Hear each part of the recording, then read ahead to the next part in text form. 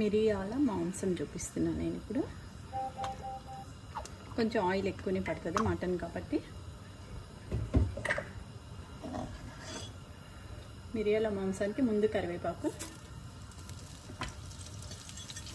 Pan ఎలాగో కాలిపోయింది కాబట్టి నేను నూనె కాగపోయినాయి కాబట్టి క్యాష్ వేస్తున్నా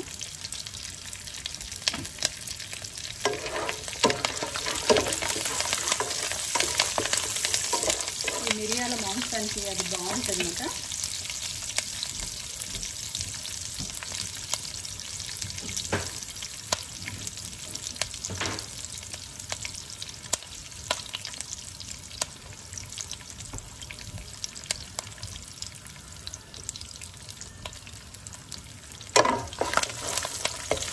దాని పక్కన కొంచెం పెద్దగా కట్ చేసిన ఆనియన్స్.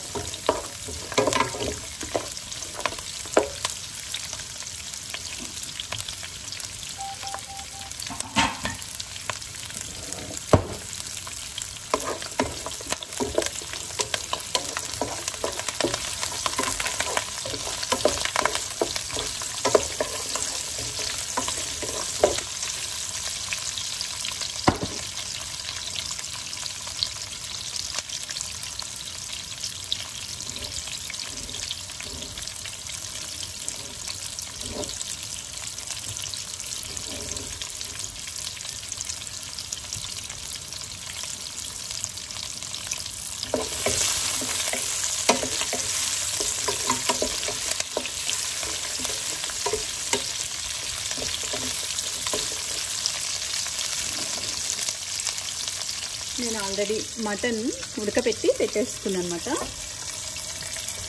ఇందులో ఉల్లిపాయ pepper powder ginger garlic paste ధనియాల పౌడర్ జీలకర్ర అన్నీ వేసి మటన్ ఉడకపెట్టి పెట్టేసుకున్నాను.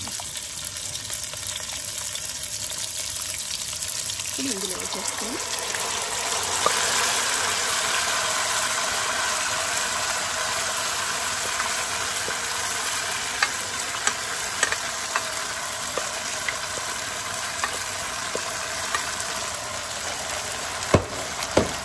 నేను మళ్ళీ చెప్తున్నాను ఈ మటన్లో ఏమేసానంటే ముందుగా కొంచెం కొబ్బరి పచ్చి కొబ్బరి మిరియాలు పచ్చిమిరపకాయలు జీలకర్ర ధనియాలు అదంతా పేస్ట్ చేసుకొని ఒక పెద్ద ఆనియన్ మొత్తం పేస్ట్ చేసుకొని ఆ మటన్ని అందులో వేసి ఒక మూడు నాలుగు స్పీన్లు మాట ఉడికిపోతుంది మాంసం మెత్తగా. సో ఇది సెమీ గ్రేవీగా కూడా తీసుకోవచ్చు. అన్నంలో బాగుంటుంది చపాతీలో బాగుంటుంది. దీన్ని మిరియాల మాంసం అంటారన్నమాట సో మీకు మటన్ కూడా నేను ఆల్రెడీ ఉడకపెట్టుకున్నాను కాబట్టి చూడండి ఇంత బాగా ఉడికిపోయింది ఉమ్.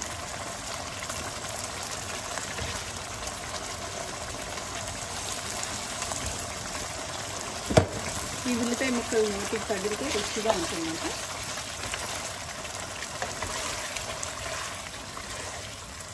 మిరియాల మాంసం. చాలా బాగుంటుంది. కొంచెం స్పైసీ స్పైసీగా సూపర్ ఉంటుంది.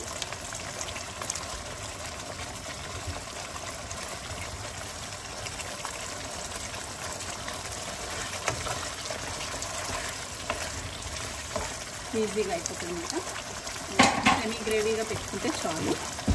మిరియాల మాంసం. ఇప్పుడు ఇది ఒక్కటి మినిట్స్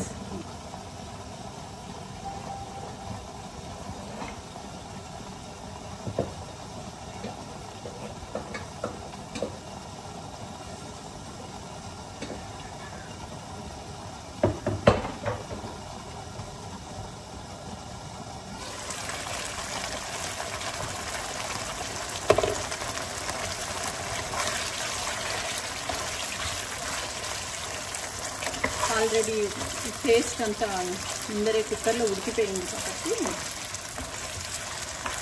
నూనెలో వేయకపోయినా ఏం పర్వాలేదు మిరియాల మాంసం మటన్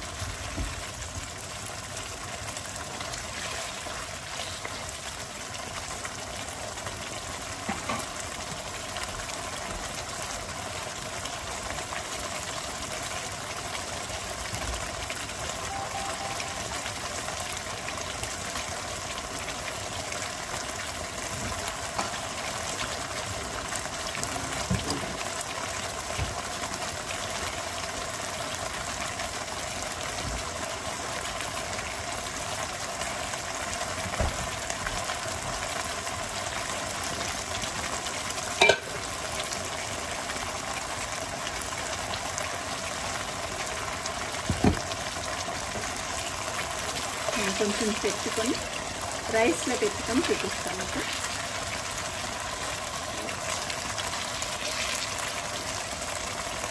మటన్.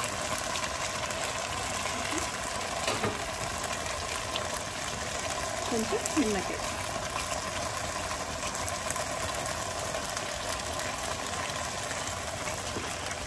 ఎంత బాగా ఉడికిపోయిందో మటన్.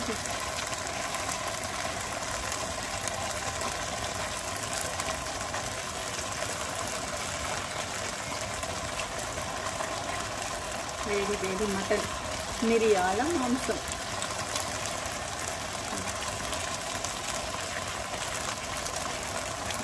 ఒక ముద్ద తింటాను. నేను. మీరు కూడా నచ్చితే ఈ కర్రీ ట్రై చేయండి.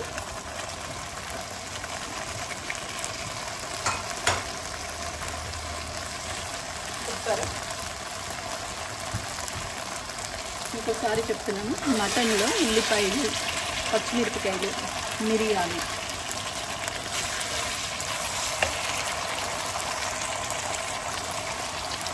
ఇంకోసారి చెప్తున్నా మటన్లో మిరియాలు పచ్చిమిరపకాయలు అల్లం వెల్లుల్లి పేస్ట్ కొబ్బరి ధనియాల పౌడర్ జీలకర్ర పౌడర్ కొంచెం లైట్ గరం మసాలా వేసి అంతా రుబ్బేసుకొని ఆ మటన్ని అందులో వేసి ఒక నాలుగు విజిల్స్ ఇచ్చాక పక్కకు పెట్టేసుకొని మళ్ళీ ప్యాన్ తీసుకొని అందులో నూనె వేసుకొని గుప్పెడు కరివేపాకు కొంచెం జీడిపప్పు. క్యాషూ వేసుకొని వేగిపోయాక ఈ మటన్ని ఇందులో వేసేయడం. అంతే మిరియాల మాంసం రెడీ. చూడండి ఎంత ఈజీగా అయిపోయిందో. సూపర్ ఉంది ఇది.